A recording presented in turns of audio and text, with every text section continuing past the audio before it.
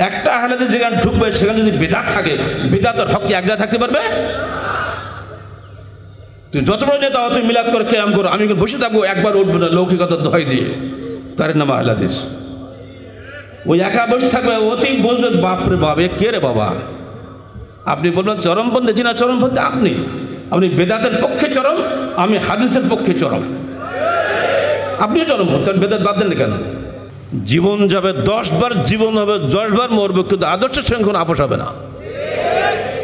আদর্শের বাইরে গিয়ে কারোর সঙ্গে কোনো আপোষ নাই।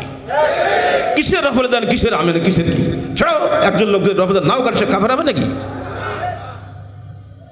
আপনারা এখন খুব ঘন ঘন বক্তব্য রাখেন, আহলে সব এক হাও। কিসের আহলে দিস বেটা, তুই যারা খবিস। তো আমলে, আখলাকে আগে দেয় কোথাও আহলেজের কিচ্ছু নাই। আহলেজ ঘরের জন্ম হয়েছে বলে আহলেজ হয়ে গেছো এত সস্তা?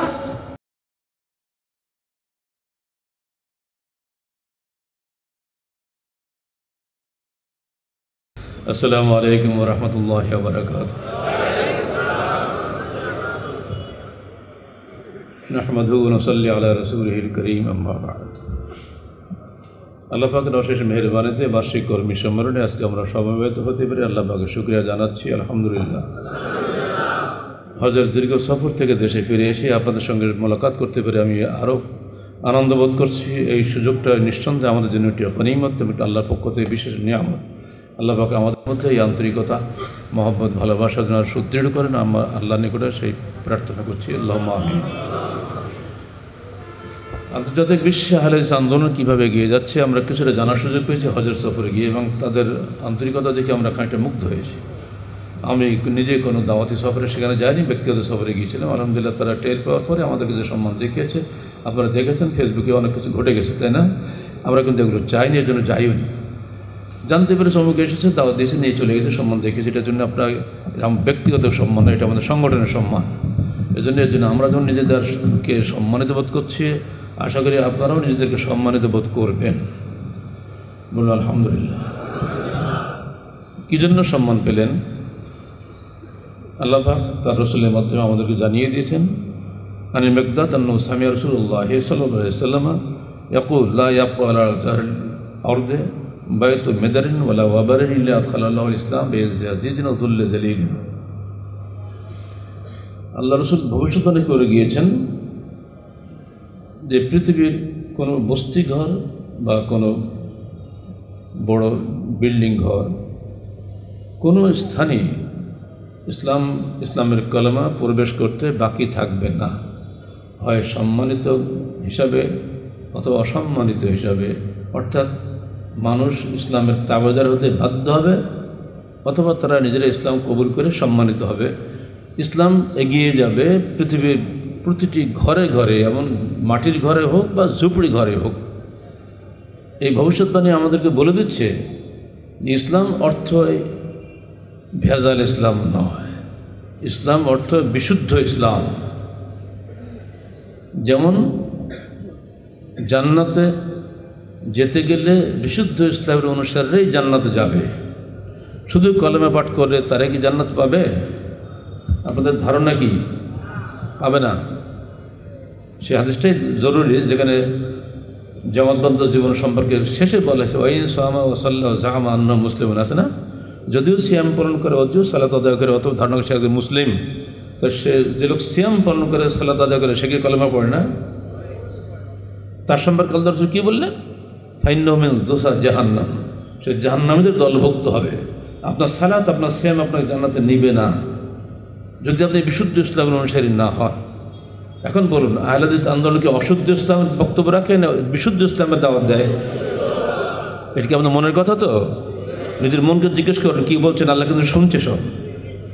আপনি নিজে বিশুদ্ধ ইসলামকে বিশ্বাস করেন আহলিস আন্দোলনকে? প্রত্যেকটা কর্মীকে আমি জিজ্ঞেস করছি, কিন্তু একজনকে না। নিজের হৃদয়কে জিজ্ঞেস করুন, আপনি কোন পথে আছেন? আপনার গ্রামে একজন লোক আপনার সঙ্গে নেই, কিন্তু আপনি একা আছেন। কারণ আপনার কবর আপনার, অন্যের নয়।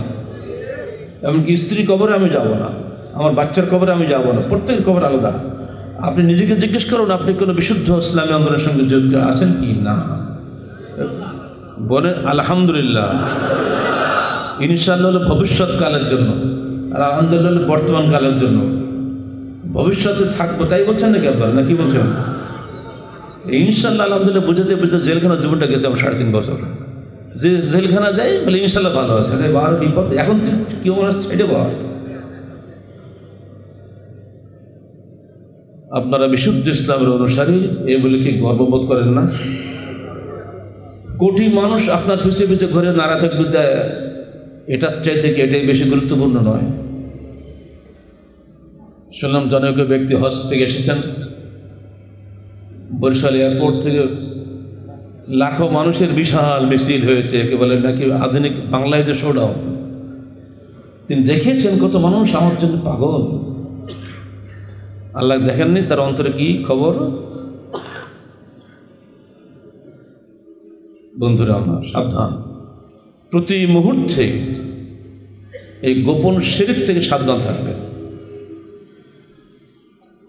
এই শিরিক যাতে আমাদের মধ্যে প্রবেশ না করে, দেখলেন না, স্টেজ খালি আজকে? স্টেজ খালি থাকবে এখন থেকে। যার প্রয়োজন, তিনি এখানে আসবেন। বক্তব্য শেষ, সামনে যেয়ে বসেন। এই অহংকার চূর্ণ হতে হবে। আন্দোলন এক পা আগাবে না যদি অহংকার থাকে ভেতরে আপনার। ওই কর্মীর কোনো প্রয়োজন নেই আমাদের। যারা খালি পথ খুঁজে বেড়ায়, আর চেয়ার খুঁজে বেড়ায়। কথা বুঝতে পারছেন? আহলাদিস আন্দোলন বাংলাদেশ বিশুদ্ধ ইসলামের দাওয়াত দেয় এবং নিজেরা সেটা আমল করার চেষ্টা করে। নিজে আমল না করলে আপনার দাওয়াতকে কবুল করবে? আল্লাহ রসুলের এই ভবিষ্যৎবাণী মিথ্যা হয়ে যাবে যে প্রতিটি ঘরে ইসলাম প্রবেশ করবে। এখান থেকে আমরা ইসলামবাদ করব প্রতিটি ঘরে আহলে চান্দন প্রবেশ করবে। ইনশাআল্লাহ। মানুষ যখনই শুদ্ধ জিনিস সন্ধান পাবে, সে কি ভেজা জিনিস কিনবে? বাংলার মানুষ বিশুদ্ধ ইসলামের সন্ধান পেয়ে গেছে। হাজার হাজার মানুষ এখন আসছে হালিস আন্দোলনে, তাদেরকে ঠেকানো যাচ্ছে না। বেদাতিরা এখন জলি বুড়ি মরতেছে, দেখেন না? যখন আপনার দাওয়াতে কেউ রাগ না করবে, বুঝতে আপনি কোনো দাওয়াতই দিচ্ছেন না। রাগে কারা? যারা আপনার দাওয়াতের বিরোধী? কোনোদিন কারও পাঁচটা পয়সার ক্ষতি করেছে বলে মনে পড়ে না। কারও জমি জমা ফাঁকি দেখাইছে বলে মনে পড়ে না। কারও ভোটের বাক্সে শরিক আমরা কখন হয়েছি? বলুন কেন আপনাদেরকে বছরের পর বছর যেখানে থাকতে হলো? সাময়িকভাবে ঢুকেই না, দুবার মাসখানিক পরে জামিনি বের করে দিয়ে, তাও তো হলো না। আপনারা চেষ্টা তো কম করেন নাই, মিছিল তো কম করেন নাই। জেলখানায় গিয়ে ঢাকা কারাগারে একজন তৎকালীন সময়ের বড় একজন নেতা আমাকে বলছে, আপনি খুব দ্রুত মুক্তি পেয়ে যাবেন। বললাম, কেন? আপনার জন্য ঢাকায় যে মিছিল হয়েছে, এত বড় মিছিল আমরা পার্টি ইন পাওয়ার, কিন্তু আমাদের মুক্তির জন্য হয় নাই। তাহলে বাবা, শোনো ওই ইউনিভার্সিটির মাস্টার ডিগ্রি পাশ করেছে, শোনো, মিছিলের মাধ্যমে আমরা জেলখানাতে মুক্তি পাবো, এটাতে আমরা বিশ্বাসী নই। আল্লাহর রহমত হলে যে কোনো সময় বেরিয়ে যেতে পারব। ও তাকিয়ে পড়ছে আমার দিকে। আল্লাহর রহমত যে কোনো কাজে লাগে, এটা ওর বিশ্বাসই করে না, যদিও সে মুসলমানের ছেলে। পত্রিকায় দেখলাম দুই কিলোমিটার লম্বা মিছিল আপনাদের হয়েছে তখন, ছবিও দেখলাম। তারা বলছে, আজ পর্যন্ত বাংলাদেশে কোনো নেতার মুক্তির জন্য নিজেরা পয়সা খরচ করে এসে এরকম ঢাকায় বুকে দুই কিলোমিটার লম্বা মিছিল করেছে, ইতিহাসে নাই। বরং নেতারা টাকা দিয়ে গাড়ি ভাড়া করে লোক, ফিরি লোক নিয়ে আসে। আর এ তো নিজের টাকা খরচ করে লোক চলে আসা লোক। এ তো দারুণ ব্যাপার। গোয়েন্দা রিপোর্ট চলে গেছে ওদের কাছে। দেখো, এই মহব্বত মানুষের যখন বাড়বে, তো তোমাদের ওই পিস্তল, রাইফেল গুলিও আস্তে আস্তে বন্ধ হয়ে যাবে। তোমরাও আস্তে আস্তে এই দলভুক্ত হয়ে যাবে। প্রমাণ পেলাম। ঢাকা ইউনিভার্সিটিতে আমি গেছি আমার শিক্ষকদের সাথে দেখা করার জন্য।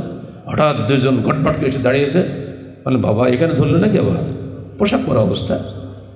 আমাদের শিক্ষকরা সব ভয় পেয়ে গেছেন স্টাডিতে আরবি একসাথে। আলহামদুলিল্লাহ, তারপরে সালাম দিয়ে বলছে, স্যার, আমরা এসছি আপনার সঙ্গে আপনাকে দোয়া নেওয়ার জন্য। তখন একটু ভিতরের ভয়টা সবার কমলো। তখন আমি বললাম, বাবাজি, আপনারা কোথা থেকে কী পরিচয়? স্যার কিছু বেয়াদবে নেবেন না, আমরা যাচ্ছি শান্তিরক্ষা মিশনে বিদেশে। তো ফ্লাইট ডিলে তো আমরা গোয়েন্দা রিপোর্ট পেলাম যে আপনি এখন ঢাকা ইউনিভার্সিটি এসছেন। আমার ভাবলাম ডিলে যখন আসার সময় তো পাচ্ছি। তো যাই এটা স্যার দোয়া নিয়ে আসি। তাই ঢাকা এয়ারপোর্ট থেকে ঢাকা ইউনিভার্সিটি চলে আসছে। আমি কিন্তু তখন আমি বুঝতে পারছি না যে আসলে কি দোয়া নেওয়ার নাম কিন্তু অনেক কিছু নেয় এরা। কারণ ডিএসবিতে একটু বিশ্বাস আছে নাকি? বলছি, স্যার, আসল কথা বলি এই, আপনার বিরুদ্ধে তদন্ত করার জন্য আমাদেরকে লাগিয়েছিল সরকার। তো আপনার বিরুদ্ধে তদন্ত করতে গিয়ে আমরা আপনার দলভুক্ত হয়ে গেছে। আর কিছু শুনবেন? এখানেই আমাদের বিজয়। বলুন, আলহামদুলিল্লাহ। এটা হলো আদর্শিক বিজয়। আমরা তার চাকরি প্রমোশন দেব না, তার বেতন ভাতা কিছু দেব না, কিন্তু সে বুঝেছে এই আদর্শ কারও কাছে নাই। এই জন্যে আমরা বলছি, আগামী দিনে তখন হয়তো আমরা বেঁচে থাকব না। যুব সঙ্গে ছেলেরা থাকবে, আপনাদের নাতিপুতারা থাকবে, তারা দেখবে বাংলাদেশের প্রতিটি বস্তি ঘর এবং হাইরাইজ বিল্ডিংয়ে ইনশাআল্লাহ আহলে জান্নাত প্রবেশ করবে। কোনোদিন একে দাবিয়ে রাখা যাবে না। মানুষ হকের সন্ধান পেয়ে গেছে। আস্তে আস্তে চলে যাচ্ছে। ভাবছিল জবান বন্ধ করে দেবো, সাড়ে তিন বছর আটকে তো রাখা গেল, আর কিছু একটা কাজ তো করা গেল। কিন্তু জবান বন্ধ করলে বটে, কলম তো বন্ধ করতে পারো নাই। আলহামদুলিল্লাহ, কলমের খেদমত হয়েছে ওটা অনেক অনেক মানুষের হৃদয়ে দাগ কাটছে এখন। আহলাদিস আন্দোলন যদি আল্লাহ কবুল করেন, তাহলে কি জবান, কি কলম, কীভাবে আল্লাহ পাক আগিয়ে দেবেন সেটা তারই ব্যাপার। আমাদের দায়িত্ব সিরাপ নির্ভেজাল দাওয়াত দিয়ে যাওয়া এবং নির্ভেজাল অন্তরে কথা বলা। ভিতরে হিংসা, বিদ্বেষ, রিয়া যদি থাকে কশ্চিনকালে আপনার আন্দোলন এক পা আগাবে মনে রাখবেন। দুনিয়াবি কোনো স্বার্থে যদি আন্দোলন করেন, শেষ হয়ে যাবে। এটা আমার মৌলিক কথা আপনাদের কাছে।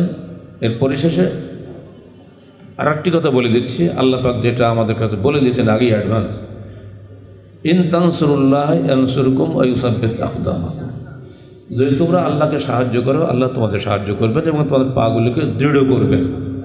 আচ্ছা আল্লাহ কি সাহায্যের মুখাপেক্ষী? এই আয়াতের অর্থ কী, ব্যাখ্যা কী? ইন তানসুরুল্লাহ, শর্ত, যদি তোমরা আল্লাহকে সাহায্য করো, ইয়ানসুরকুম, তাহলে তিনি তোমাদের সাহায্য করবেন। তো বোঝা গেল আল্লাহ তো আমাদেরই মতো। আমরা আল্লাহর সাহায্য ছাড়া স্টেজে উঠতে পারি না। আল্লাহর বান্দার সাহায্য লাগবে না ওর থেকে। হাঁটু ব্যথা করব কি? একদম ধরাই লাগে। তো আল্লাহ আমাদের সাহায্য চাচ্ছে নাকি? ইসলামের বিজয়ের জন্য? না। এর ব্যাখ্যা ওইটা নয়। এর ব্যাখ্যা হচ্ছে যদি তোমরা ইন তানসুরুল্লাহ বেতাআতকুম লি আওয়ামিরিল্লাহ ওয়া নাওয়াহিহি, যদি তোমরা আল্লাহর আদেশ ও নিষেধ সময়ের আনুগত্যের মাধ্যমে আল্লাহকে সাহায্য করো, তাহলে তিনি তোমাদেরকে সাহায্য করবেন। আপনি আল্লাহর অবদ্ধতা করে কি আল্লাহ সাহায্য পাবেন নাকি? আপনি ধরুন এখানে আমার প্রায় সবই তো বাপ, তাই না? সেলিব্রিত নাই। এমন কোনো বাপ আছে যাতে অবাধ্য সন্তানের পরে খুশি আছে? নিঃসন্দেহে আপনার স্নেহের কোনো তুলনা নেই। পিতৃস্নেহ, মাতৃস্নেহ পৃথিবীতে আল্লাহ পাকের পরেই স্থান পায়। আল্লাহ পাকের রহমের একটা অংশ তিনি বাপ মার মধ্যে দিয়ে দেন। এটা স্বাভাবিক। অথচ ওই সন্তান যদি অবাধ্য হয় সে কি বাপের দোয়া পায়? পায় না। তাহলে আপনাকে এটাও বুঝতে হবে, আমি আল্লাহর অবাধ্য বান্দা যদি হই, কখনই আল্লাহ পাক আমাকে সাহায্য করবেন না। অতএব এই শর্ত কি আমরা পূরণ করতে পারব? এখন ইনশাল্লাহ বলা ঠিক আছে, আলহামদুলিল্লাহ বলতে হবে না। এখন ইনশাল্লাহ বলা ঠিকই আছে। প্রত্যেকটা কর্মী প্রতিজ্ঞা করুন, আমি অবশ্যই আল্লাহ পাকের আদেশ ও নিষেধ মেনে চলবেন ইনশাআল্লাহ। যদি এইটা যদি আল্লাহ পাকে আমাদের ভাগ্যে রাখেন, যদি আল্লাহ পাকে আমাদের তৌফিক দেন, আমরা চাইলেই কিন্তু পাবো না। আল্লাহ তৌফিক লাগবে। চাইলেই পাবো না। আল্লাহ তৌফিক লাগবে। আল্লাহ পাক যাদেরকে কবুল করেন, তারাই এখানে আসতে পারেন। আর সব শেষে যে বক্তব্য রাখব, আল্লাহ পাক রসুলের চূড়ান্ত নির্দেশ ওলা তাহা সাদু ওলা তাজাসু ওলা তাহাসু ওলা তাবা গাজু ওকুন ইবাদ আল্লাহ হুয়ানা তোমরা পরস্পরের সিদ্ধান্বেষণ করো না। কারোর পিছনে স্পাইগিরি করো না।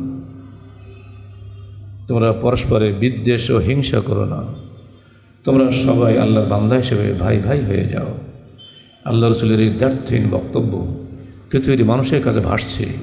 হাদিসে আমাদের সামনে রয়েছে। এরপরও আমরা পরস্পরে হিংসা জর্জরিত হয়ে আছি। আপনি যত বড় বিদ্যান হন না কেন, যে আপনার মধ্যে হিংসা এবং অহংকার ঢুকে পড়ে আপনি শেষ হয়ে যাবেন। মূর্খরা আপনার যত ক্ষতি করতে পারে, তার চেয়ে বেশি ক্ষতি বিদ্যান লোকই করবে যদি সে হিংসুক হয়। ব্যাংক ডাকাতি কি সাধারণ চোরে করে? জ্ঞানী চোরেরাই ব্যাংক ডাকাতি করে, কারণ ব্যাংকের ওসব বুঝতে হবে তো। বুঝদার লোক সবচেয়ে নিচে নেমে যায়, যখন সে হিংসুক হয়, রিয়াকার হয়, বিদ্বেষী হয়। যেমন আবু জাহালের নাম ছিল আবুল হেকাম, সবচেয়ে জ্ঞানী মানুষ ছিল জ্ঞানীদের পিতা। সেই লোকটা ইসলাম বোঝেনি, সেজন্য সে আবু জাহাল হয়ে গেল। এটা কি আমাদের মধ্যে নাবে না? নিঃসন্দেহে আমাদের মধ্যে এটা হতে পারে। অতএব এই বিষয়টা সাবধান থাকবেন। প্রত্যেকেই মনে রাখবেন, আমি পরকালীন মুক্তির একটি আন্দোলনে এসেছি। এই আন্দোলনের সামান্য কর্মী হতে পারাটা আমাদের জন্য অত্যন্ত বড় গর্বের বিষয়। হাদিসের ভাষায় বলি ইনকান তায়সা আব্দুল দিনার এবার দেরহাম তায়সা আব্দুল খামিসা। ধ্বংস হোক দিনারের গোলাম, দেরহামের গোলাম, উত্তম পোশাকের গোলাম। যা ঔতিয়া যদি তাকে দেওয়া হয়, খুশি হয়, না দেওয়া হয় নাখোশ হয়। যে ছুটি চাইলে ছুটি দেওয়া হয় না, সুপারিশ করলে কবুল করা হয় না। যদি বলা হয় পিছনে বসো, পিছনে বসে। যদি বলা হয়, তুমি জুতা চৌকি দাও, জুতা চৌকি দেয়। তবুও সে আনুগত্যের বাইরে যায় না। তাদের জন্যই তাদের জন্যই জান্নাতের সুসংবাদ। হাদিস বলার পরে নিজস্ব কোনো ভাষাকে বলা উচিত হবে? এরকম কর্মী কজন আছে নিজে নিজে চিন্তা করুন। দিনার দিরহামের গোলামরা ধ্বংস হোক, উত্তম পোশাকের গোলামরা ধ্বংস হোক, এই কি যাতা ব্যাপার নাকি? যে তিনটা জিনিস মানুষ বেশি আকৃষ্ট হয়, সে তিনটা নামই আল্লাহ রসুল করেছেন। বিষয়গুলো প্রত্যেকটা মুসলমানের জন্য জরুরি, আর আমাদের জন্য আর বেশি জরুরি এই জন্য যে আমরা সমাজ সংস্কারের দায়িত্বে নেমেছি।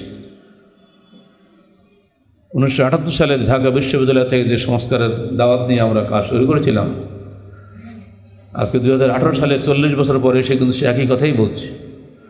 সমাজ সংস্কারের গুরু দায়িত্ব কাঁধে নিয়ে নবিরুসুল্লাহ দুনিয়ায় কাজ করেছেন, আমাদেরকেও সে কাজ করতে হবে।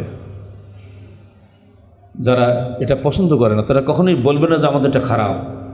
নমরুদ বলেনি, ফেরাউন বলেনি। মা উরি কুমিল্লা সাবিল রাশা। কী বলছিল ফেরাউন? আল্লাহ বলে দিচ্ছেন, ফেরাউন বলেছিল, হে জনগণ, আমি তোমাদেরকে সাবিলের রাশাদ ছাড়া কিছুই দেখাই না, অর্থাৎ উত্তম রাস্তা দেখাই। আসলে কি ফেরাউনের রাস্তাটা উত্তম ছিল? না না, মুসার রাস্তা উত্তম ছিল। চিন্তা করুন, তো সে যুগে ফেরাউনরা বলেছে, আমরাই উত্তম রাস্তায় মানুষকে, জনগণকে পরিচালিত করি। এ যুগের ফেরাউনরা ঠিক একই কথাই বলছে, আমরা জনগণের স্বার্থে, ভাগ্য পরিবর্তনের জন্য উত্তম পথ বাতলাই দিচ্ছি। বলছে না? অথচ জনগণ ধ্বংস করে দিচ্ছে। প্রচলিত রাজনীতি ইহুদি নাসার রাজনীতি, মানুষকে পরস্পরের দুশ্মনে পরিণত করে ফেলেছে। মানুষ আর পরস্পরের ভাই নাই। এক একজন, এক এক পার্টির লোক কেউ কোশ্চিন করা, অপর পার্টিকে মহব্বত করতে পারে না। এই বিভক্তি, আমরা ব্রিটিশের দোষ দিই না, এটা মানুষের মধ্যে এক মজ্জাগত দোষ এটা। ইসলামের বিপরীত। এই বিষয়টি মনে রাখবেন, ইসলাম বিজয়ী হওয়ার জন্য এসেছে, পরাজিত হওয়ার জন্য আসে নাই। আমাদের কারণে ইসলাম পরাজিত হচ্ছে। আমরা যদি বাংলাদেশে কিছু উত্তম মুসলমান তৈরি করতে পারি, যারা পরস্পরকে ভাই হিসেবে বুকে টানে, যারা মানুষকে মানুষ হিসেবে অবোধ করে, হতে পারেন আপনি হিন্দু, হতে পারেন আপনি বৌদ্ধ, হতে পারেন আপনি খ্রিস্টান, হতে পারেন আপনি হানাফি সাফি মালিকি, আম, যাই হন না কেন, আদম সন্তান কিনে বলেন। এতে কোনো সন্দেহ আছে? আপনি আদম সন্তান।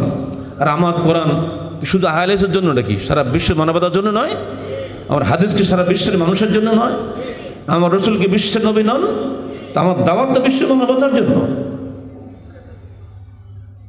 আমার দাওয়াত কখনো একটা বিশেষ গোষ্ঠীর জন্য নয়। আপনি তো বলবেন সঙ্গে সঙ্গে, আপনি আহলেদ বাদ ইসলামী আন্দোলন বলেন জি না, ঢাকা ইউনিভার্সিটির জন্য আমরা আহলেদ যুব সংঘ শুরু করলাম। প্রথম প্রশ্ন আমাকে করেছিলেন, তৎকালীন সময়ের ইসলামী ছাত্র দলের লিডাররা আমাকে বাসায় যেয়ে বলছে বাংলা দুয়ারে গিয়ে যে, ভাই, আপনি যদি ইসলামী যুব সংঘ রাখতেন, তো আমরা ঢুকতে পারতাম। কারণ তোমাদের ঢুকাবো না বলেও তো নাম রাখছি। কেন, আমরা মুসলমান না? তা দেবো না। আমরা মুসলমান না? তা দেবো না? আপনার হাদিস কোরআন দেখে হাদিস কোরআন মারেন না। কিসের মুসলমান আপনারা? বোকার দিকে এড়িয়ে চলে যাচ্ছেন ফেঁকার নাম করে। কিসের ফেঁকা? ফেঁকা কি? করোনা হাদিস বানাইছে নাকি? এক কথা একদম চুপ। মুসলমান হলে সে আত্মসমর্পণ করবে হাদিসের সামনে, কোরআনের সামনে। আপনি আত্মসমর্পণ করেন না। আপনি নিজের ইচ্ছা মতো চলে নিজের দল মানে মজাব বানাইছেন, তরিকা বানাইছেন। আপনি কিসের মুসলমান? তো আপনার মতো মুসলমান আমরা নেব না বলি তো আহলে যুব সঙ্গে করছি সেটা সেরফ কোরআন হাদিসের সামনে মাত্রাতে করবে। ব্যাস, ওই দিন থেকেই তারা বুঝে গেছে এই লোককে অত সহজে গিলানো যাবে না। তা অসম্ভব। আহলে আন্দোলনের সঙ্গে সমস্ত ইসলামী আন্দোলনের মৌলিক পার্থক্য এখানে বৈশিষ্ট্যগত, আদর্শগত, আদর্শের সঙ্গে কোনো আপোষ নাই। আপোষ করবেন? জীবন যাবে দশ বার জীবন হবে দশ বার মরবে, কিন্তু আদর্শের সঙ্গে কোনো আপোষ হবে না। আদর্শের বাইরে গিয়ে কারোর সঙ্গে কোনো আপোষ নাই। কিসের রফলে দেন কিসের আমেন কিসের কি? ছাড়াও একজন লোকদের রফলে নাও কার সে কাফের হবে নাকি? আপনারা এখন খুব ঘন ঘন বক্তব্য রাখেন। আহলে সব এক হাও। কিসের আহলে দিস বেটা, তুই তার খবিস। তো আমলে, আখলাকে আগে দেয় কোথাও আহলেজের কিচ্ছু নাই। আহলেজ ঘরের জন্ম হয়েছে বলে তুই আহলেজ হয়ে গেছে এত সস্তা? আহলেজ হওয়ার জন্য আবু বকর, ওমরকে সামনে রাখতে হয়। আহলেজ হতে গেলে খালেদ তারেক মুসাকে সামনে রাখতে হয়। আহলেজ হতে গেলে শুধু বাতিল লোকদের সামনে রাখতে হবে না। যারা আপোষমুখী, যারা নাস্তিকবাদের সঙ্গে আপোষ করে সেগুলারের সঙ্গে আপোষ করে, বেদাতের সঙ্গে আপোষ করে শিল্পের সঙ্গে আপোষ করে কশিস গেলে তাদের আপোষ হতে পারে না? আহলেজ আন্দোলনের একটা মূর্তিমান চ্যালেঞ্জ এ যুগে নয়, সারা বিশ্বের জন্য চ্যালেঞ্জ এটা। শুধু বাংলাদেশের জন্য না, সারা বিশ্বের নেতাদের সামনে একটা বুলেটের মতো, বোমার মতো। বাংলাদেশে আমরা বলেছি, সকল বিধান বাতিল করো, ওই বিধান কায়েম করো। এটা শুধু বাংলাদেশে নয়, সারা পৃথিবীতে হতে হবে এটা। কারণ আমার বলে দিয়েছে, হুয়াল্লাযী আরসালা রাসূলাহু বিল হুদা পৃথিবীতে যত জীবন ব্যবস্থা আছে, সবার উপরে ইসলাম বিজয়ী হবে। সেই বিজয়ী বুলেট দিয়ে বোমা দিয়ে হবে না, সেই বিজয়ী হবে আদর্শ দিয়ে। সেই আদর্শের প্রচারক আপনারা। এক একটা আহলাদিস এক জায়গায় বসবে সারা গ্রাম নড়াচড়া করবে। তারই নাম আহলাদিস। ব্রিটিশ গভর্নমেন্টের রিপোর্ট আঠারোশো বাহাত্তর সালে আবার ইন্ডিয়ান মুসলমান বইটা পড়ে যখন একশো ছয় পৃষ্ঠায়, তারা পরিষ্কার বলে দিয়েছে, এক গ্রামে একটা ওহাবি যখন ঢোকে, পুরা গ্রাম ভয়ে থরথর করে কাঁপে। মেয়েরা দৌড়ে ঘরের মধ্যে, পুরুষ লোকেরা দৌড়ে আর এক জায়গায় মানে পাকা পায়খানা ঘর নেই, পর্দা ঘেরা, বাড়ির পাশে কোন পর্দাটা ঘেরা নেই ওভাবে ঢুকলে ভয়ে সব ঠিক হয়ে যায়। এটা আমার আব্বার মধ্যে চরিত্র, আমি দেখেছি। আব্বা বলতেন, যখন আব্বাই কোথাও দাওয়াত দিত জালসার জন্য, আগে বলতেন, আগে তোমার বাড়ির চারিপাশে পর্দা ঘেরো। বাসনা বলতেন, বাসনা? কলা গাছের শুকনার এটাকে বাসনা বলি আমরা সাতক্ষীরায়। ওই বাসনা দিয়ে ঘেরো, তাও ভালো। কোন পেপারটা ঘরে আহমদ আলী ঢুকবে না। যেখানে উনি যেতেন অটোমেটিক সোজা হয়ে যেত সব। নিজে আমি ছেলেদের, বাচ্চাদের নিয়ে আমার গ্রামে বাঁশ বাগানে যে যে পায়খানা করে খুঁড়তাম ছোটোবেলায়। যেন মেয়েরা বাঁশ গাছের তলায় যে পায়খানা পেশা না করে, যেন পর্দার মধ্যে তারা থাকে। একটা আহলাদের যেখানে ঢুকবে, সেখানে যদি বেদাত থাকে বেদাত আর হককে এক জায়গায় থাকতে পারবে? তুই যত বড় নেতা তুই মিলাদ করে কেয়াম করো, আমি বসে থাকব, একবার উঠবো না, লৌকিকতার দোহাই দিয়ে। তার নাম আহলাদিস। ওই একা বসে থাকবে অতি বলবে, বাপরে বাপ, এ কে রে বাবা? আপনি বলবেন, চরমপন্থী, জি না, চরমপন্থী, আপনি। আপনি বেদাতের পক্ষে চরম, আমি হাদিসের পক্ষে চরম। আপনিও চরমপন্থী আমি বেদাত বাদ দেন কেন? কথা বলতে পারছেন? কর্মীদেরকে বলে দিচ্ছি, প্রত্যেকটা কর্মী নিজের ঘরে নিজে নেতা। কোরআন, হাদিস তোমাকে রাস্তা দেখাবে। হ্যাঁ দেহিম ইমানি পবিত্র কোরআন ও সহি হাদিস আমার সামনে আল্লাহর বাণী, এই বাণীর সামনে কোনো মানুষকে আমরা তোয়াক্কা করি না। হাদিসে রয়েছে পরিষ্কার এজন্য আমরা বায়াত করি। এটা জিনিস বানোয়াট কিছু না। আপনার ব্যাখ্যায় আপনি থাকেন, আপনার কবরে আমি ঢুকবো না। আল্লাহ রসুল মক্কা আমির ছিলেন না? কি বলছেন? বলেন। মদিনা আমির ছিলেন না? মক্কাকে হাত কাটতে পারত? হুদুদ কায়েম করতে পারত? উনি কি জানতে নাই মদিনায় যে আবার আমির হব, রাষ্ট্রপ্রধান হব? তখনও তার আনুগত্য করা ফরজ ছিল, মদিনায় গিয়েও আনুগত্য করা ফরজ ছিল। তখন তার ক্ষমতা বাড়লো, তিনি শাস্তির দণ্ডবিধি কায়েম করার ক্ষমতা আল্লাহ পাকা দিলেন, তিনি সেটা করলেন। আমরাও যদি বাংলাদেশের ক্ষমতা কখনো যাই, আমরাও হাত কাটবো, আমরাও তাদের এখানে করব।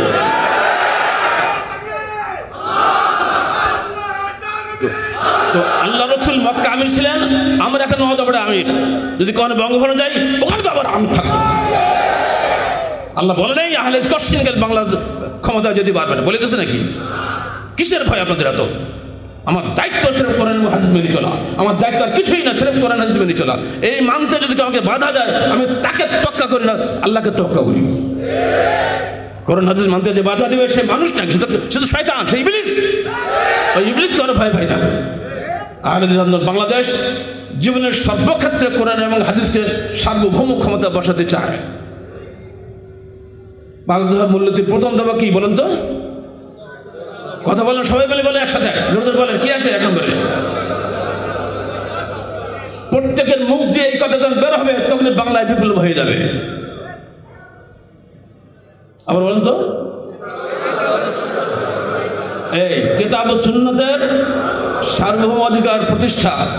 এতগুলো মানুষ বলতে পেরেছেন। দেখান তো কটা সংগঠন বাংলা জমিন আছে, ইসলামী সংগঠন, যারা এরকম বলতে পারবে? ইনশাল্লাহ পারবে না কেউ। ইনশাল্লাহ পারবে না। কোরআন হাদিস একদিকে, তুমি যাবে আর একদিকে হবে না। আর আমরা বলি, কোরআন হাদিস যেখানে, আমরা আছি সেখানে। পার্থক্য হয়ে যাচ্ছে না? নেতা যেখানে আমি শেখাচ্ছি না? নেতা আজ আছে কাল নাই। কিন্তু কোরআন হাদিসও থাকবে? ঠিক না? কোরআন হাদিস যেখানে, আমরা আছি সেখানে। এই প্রতিজ্ঞা যদি বাংলার ঘরে ঘরে উঠে যায়, ছেলের মুখ দিয়ে বেরোয় যুব সংঘ হিসাবে, মহিলা মুখ দিয়ে বেরোয় মহিলা সংস্থার মুখ দিয়ে, বাচ্চাদের মুখ দিয়ে বেরোয় সোনামণির মুখ দিয়ে, বাংলায় বিপ্লব আসবে না? আর এই ভয়ে আমাদেরকে জেলে ঢুকাইছিল। বাবা, এই বক্তব্য যেন দেশে না দেয়, তাহলে সমস্যা হয়ে যাবে। কিসের মুজাব? মুজাবকে আল্লাহ নবী বানিয়ে গেছে নাকি? মুজাব তো তোমার তৈরি করা, বেটা। তোমার পকেটের মুজাব ফেলার দিকে। বউ আগে ওমর ফারুক বলে গিয়েছেন ইয়াকুম ওয়াদা সুনান। সুন্নতের শত্রুর থেকে তোমরা সাবধান। ইয়াকুম ওয়াসাহাবুর রায়। রায় পন্থীতে তোর সাবধান থেকো। তার হাদিস জানে না বলে কেয়াস করে, সাবধান। মুসলিম দারুণ পড়ে দেখেন না? বহু পূর্বেই ওমর ফারুক নিষেধ করে খবরদার কোনো রায়পন্থী ধারা যেন তোর বসো না। যারা রায় দিয়ে দিয়ে কবর পূজার মতো একটা জাজ্জল্যমান শিরকে তারা হালাল করে। যারা জাজ্জল্যমান বেদাতকে হালাল করে। রসুল আছেন মদিনার তার রোজা মোবারক। যাকে বাংলাদেশে এনে ক্যাম্প করা হয়, মিলাদ করে, ক্যাম্প করায় যশ্ন জুলুস করে বেড়ায়, সব জাহাজ করে দিয়েছে। কেয়াস করে করে হাদিস করে বাদিয়ে ঘুরিয়ে ফিরিয়ে ব্যাখ্যা করে করে যারা এগুলো করেছে, কোশ্চিন কালো তাদের ধারে কাছে যাবেন না। আর তারাই আহলে যে সবচেয়ে বড় দুশ্মন, এবং মসজিদকে পর্যন্ত বরদাস্ত করতে পারছে না। মসজিদ বানাতে ভেঙে দিচ্ছে কেন? কই, তুমি তো মন্দির ভাঙো না? তুমি তো প্যাগোডা ভাঙো না, গির্জা ভাঙো না তুই মদের আড্ডাখানে ভাঙো না। আহলে যে মসজিদ ভাঙো কেন? বুঝতে হবে এগুলো? এতদিন তো ভাঙনি, এখন ভাঙছে কেন? জানি এটা গালার সাহেবের অনুসারী মসজিদ অত এইটা ভাঙো। অন্য মসজিদ ভাঙার দরকার নাই। চট্টগ্রামে আরেকটা মসজিদ আছে আহলেছে বহু পূর্ব থেকে, আমি যখন ছোটো তখন থেকেই, ওটা কখনো কেউ ইটও খসায় না। যেমনি গালের সাহেবের অনুসারী একটা মসজিদ হয়েছে, অমনি হামলা। পাঁচ ছয় হাজার লোক দিয়ে বিশাল বেশি কেন? বুঝে গেছে আহলেদিস মানে এরা। আর এদের আন্দোলনের সামনে কিছু টিকবে না। এদের, এদেরকে খতম করতে হবে। আহলে আন্দোলন বাংলাদেশ, নিঃসন্দেহে আদর্শিক আন্দোলন, কোনো রাজনৈতিক দলের সঙ্গে আমাদের কোনো সংঘাত নাই। প্রত্যেক ভাইয়ের প্রতি আমাদের আবেদন, আসুন, পবিত্র কোরআন ও সৈয়াদিসের আলোকে, বলুন আমার সঙ্গে, আসুন, পবিত্র কোরআন ও সৈয়াদিসের আলোকে জীবন গড়ি। জীবন গড়ি! বঙ্গভবন গড়ি না। জীবন গড়ে মানে কি? এখানেও যা, আমি ওখানেও তাই। জেলখানায় গেলে যে পোশাক তো সেই পোশাক, একইভাবে সব জায়গায় চলবো। জেলখানাও আমার বাড়ি, এটাও আমার বাড়ি। কোথায় নেবা রাখো সমস্যা কোথায়? আমার নবী রসুল্লাহ জেলখানায় মরেছে, আমি মরতে পারি না? এগুলো মন খারাপ করার ব্যাপার নাকি? এগুলো পরীক্ষা আমাদের জীবনে। আজ আমাদের কর্মীদের অনেক কষ্ট হচ্ছে। হজ থেকে ফিরে এসেই ফোন করতে হলে বাধ্য কুমিল্লা জেলা সভাপতিকে নিয়ে চলে গেল, প্রকাশ্য সবার সামনে দিয়ে নিয়ে চলে গেল উঠে। আবার বাগেরহাট জেলা সেক্রেটারি এখন কারাগারে আছে, তিন দিন আগে তাকে নিয়ে চলে গেল। এত জেল জুলুম আমাদের উপরে কেন? কোনো পুলিশের খবর নাই, ক্ষমতা নেই ক্ষমতা নেই ক্ষমতা নেই। তাহলে আন্দোলন বা বাহালের যুব সঙ্গে একটা ছেলেকে জঙ্গি প্রমাণ করতে পারবে। ইনশাল্লাহ কোশ্চেন কালো পারবে না। কিন্তু তাদেরকে কেন ঢুকানো হচ্ছে? এই কৈফের তোমাদেরকে একদিন দিতে হবে, যারা আইন শৃঙ্খলা রক্ষা বাহিনী আছো, যারা সরকারে আছো কৈফের তোমাকে এখানে দিতে হবে না ইনশাল্লাহ প্রস্তুত থাকো, কেমন দিতে হবে। আমাদের কোনো নিরাপদ কর্মী যদি তোমরা ক্ষতি করো ইনশাল্লাহ তোমাদেরকে বসতে হবে পোস্তাতে হবে পোস্তাতে হবে। আগের সরকার যখন আনন্দের দুনিয়াতে বেদা হতে পারে নাই, তোমাদেরকে ঠিক এমনি করে পচতে পচতে যেতে হবে দুনিয়া থেকে। এত সহজ নয়।